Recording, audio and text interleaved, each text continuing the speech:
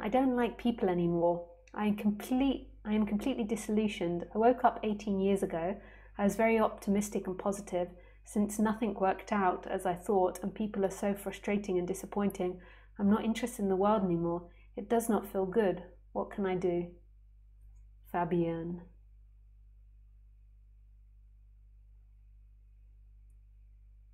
Thanks, Fabienne, for your question.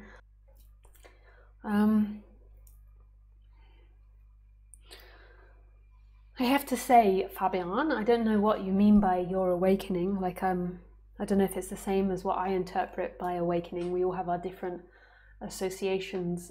Um, but after my awakening as well, learning to deal with humans um, was a process. And um, it still is an ongoing process. And it might be to be with the way that you looked at things because when you have these awakenings you become childlike again and innocent. And that and you look at life in a different way.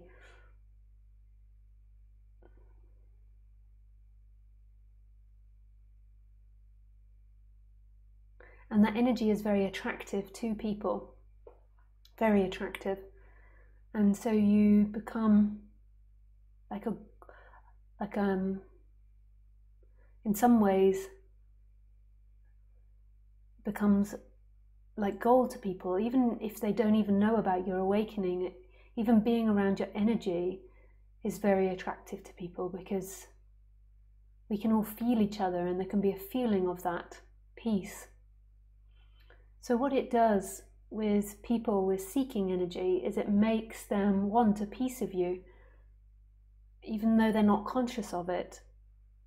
And that um, that's a difficult dance. So if you also have any karma left over, where you don't have good boundaries, I didn't have great boundaries, um, and also you're not putting out clearly what it is that you want um, from people, then then you can see a bit of a dark side of humans. Humans, when they come from a seeking energy and they want something, and if they can't get it, which they can't, they can't get a piece of you and they can't get your freedom. If they're coming from that seeking place, they'll go through all these stages of trying to get it from you.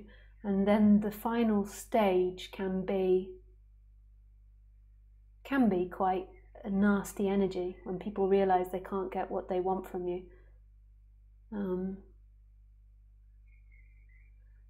and so I would say, Fabienne, that it's a combination maybe of old karmas that you haven't addressed, not stating clearly enough what it is you want, and most probably not having strong enough boundaries with people because you are different if you've had that awakening. There is a difference. It's just the way it is.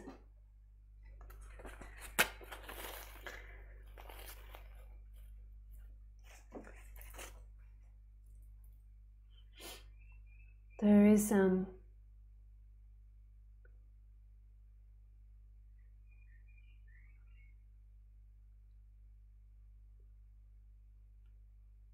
and also there's something people can project so many things onto you when there is that flexibility after awakening. They can see you in so many different lights.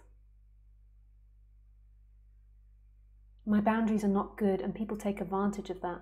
No, no, uh, uh, that's negative. People don't take advantage of that. You don't put up good enough boundaries. Don't don't bother with that kind of thinking. People take advantage of that. That's what's making you dislike people is wrong thoughts. That's old karma coming up thinking like that.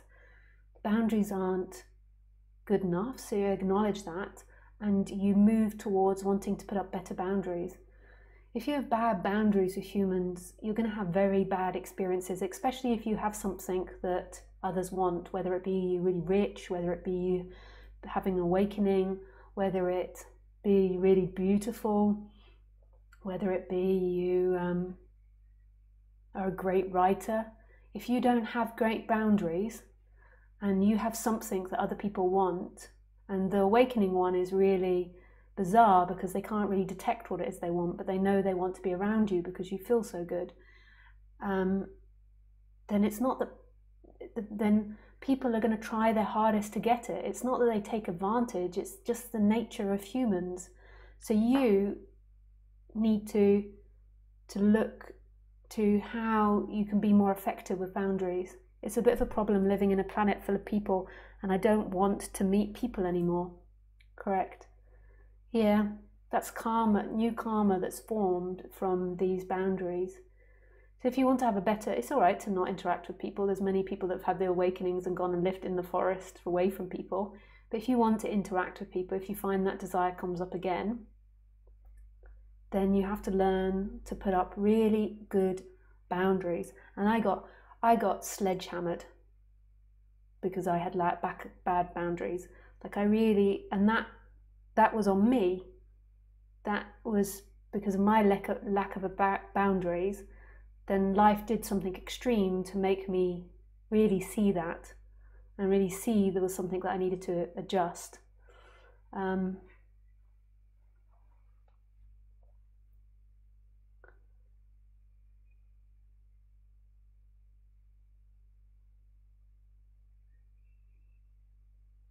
and it's really you've got to take a responsibility of it. And it took me a, a lot to realize it.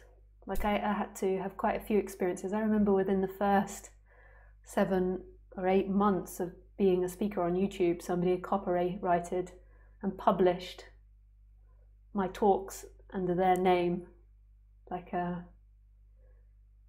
but it took a lot more and i remember at the time just being like ah who cares? And and um, it took a lot more of, and along those lines, um, along business lines, for me to address that lingering karma in myself. Um, so, how can I learn to make better boundaries? It's really simple, actually. You always know when your boundary's been crossed. You always know it. You feel it straight away. You actually feel it. It's just that maybe your attention isn't in that place. So you just have to become aware of when your body says no and really act on it and really trust it. Um, but sometimes that feeling comes up and it's not very strong and you miss it. So it's just an it's just a case of redirecting your attention and paying paying attention to when your boundary's saying no. You can feel it in your body. Your body instantly goes Ooh, when somebody crosses your boundaries. So say, um,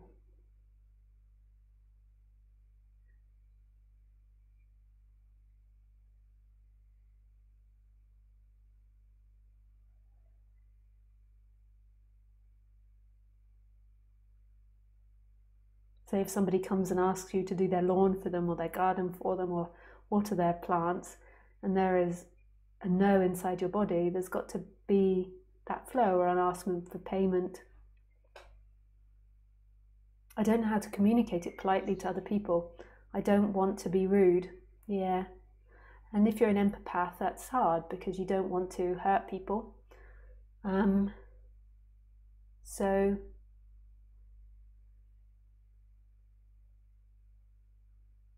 it's a new learning maybe that you have to do. And I think a lot of people struggle with this because what happens normally is that you don't do it, don't do it, and then out of anger you put up a boundary. So you find a way that works for you to communicate that properly.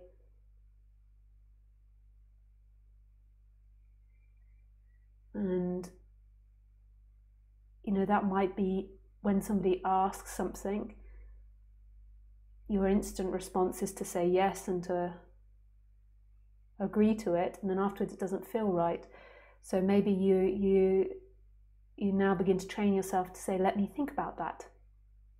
And then you can reply to them through email or through text or something and that gives you space and time to really feel into what your body wants.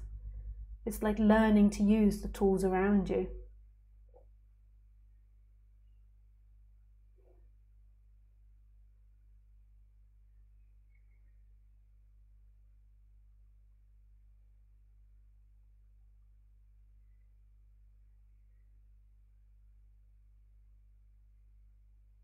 Yeah, so, so empath, indigo, a narcissistic mother, and emotional abuse. How can I learn to draw boundaries to other people? Do you recommend therapies?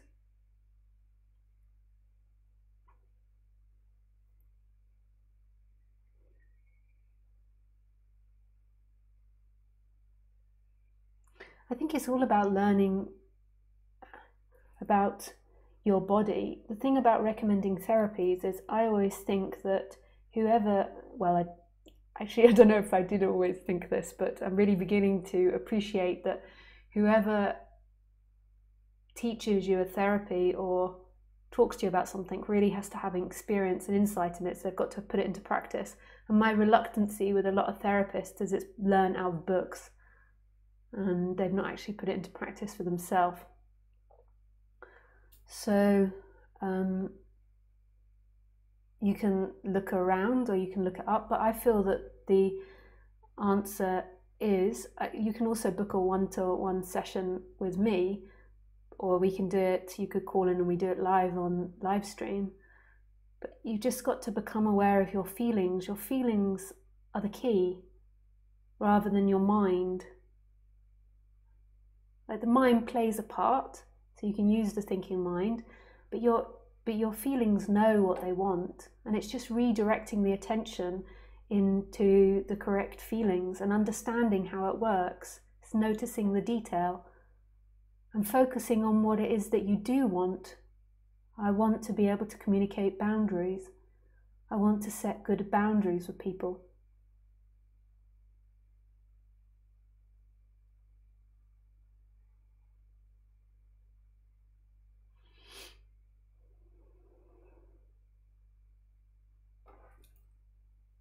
Thanks, Fabian, for your question.